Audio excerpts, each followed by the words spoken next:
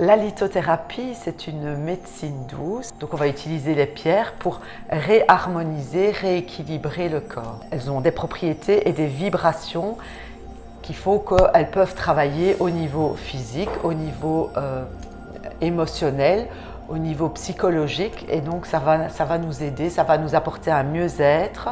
Dans la lithothérapie, on va utiliser les pierres euh, en fonction soit d'un problème physique qu'on a, soit d'un problème émotionnel qu'on a, on peut travailler.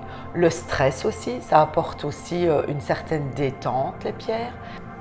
Et donc on va soit les porter sur soi, ou on peut ben, les mettre dans sa maison pour harmoniser sa maison aussi, pour apporter une bonne énergie dans la maison. Parce qu'il faut savoir que les pierres, c'est naturel et c'est vivant. Donc elles peuvent changer de couleur en fonction de, de, ce qui se passe dans la maison, par exemple, ou de ce que nous on vit. Elles peuvent soit devenir s'éclaircir quand elles s'épuisent. Souvent elles s'épuisent quand euh, il y a trop d'émotions négatives dans une maison, parce qu'elles absorbent tout ça et on peut les porter. Alors le lapis lazuli, c'est bien pour euh, le chakra de la gorge, c'est l'expression aussi. Donc dans mes ateliers, j'explique comment choisir les pierres. Alors le principe de choisir une pierre, c'est qu'il faut se laisser guider, essayer d'écouter son intuition et généralement on ne se trompe pas. Et il y a toujours plusieurs pierres qui peuvent correspondre, mais il y en a qui sont peut-être plus appropriées que d'autres. Mais ce sera toujours en fonction de la personne hein, et du ressenti de la personne.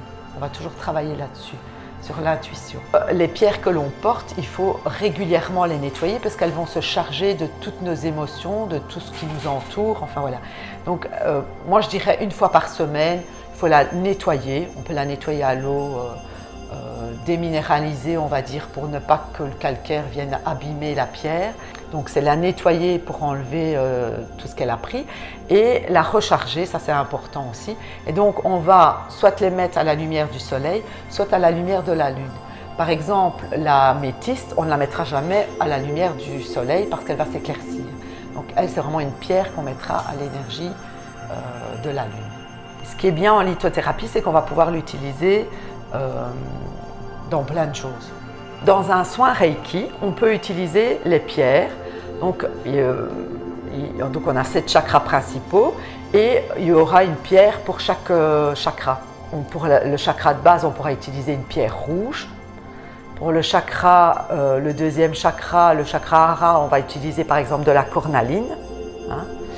Pour le chakra du plexus solaire, on pourra utiliser euh, de la citrine par exemple. Pour le chakra du cœur, on va utiliser une pierre verte de la tourmaline melon d'eau, vert et rose, qui travaille très très bien. C'est une très belle pierre pour le chakra du cœur.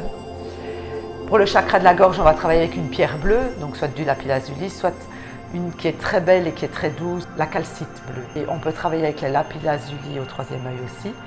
Et chakra couronne, on va travailler avec une pierre mauve, par exemple, comme de la métisse. On n'est pas obligé de les avoir sur la peau. Du moment qu'on les a sur soi, l'énergie, eh bien, la vibration de la pierre travaille.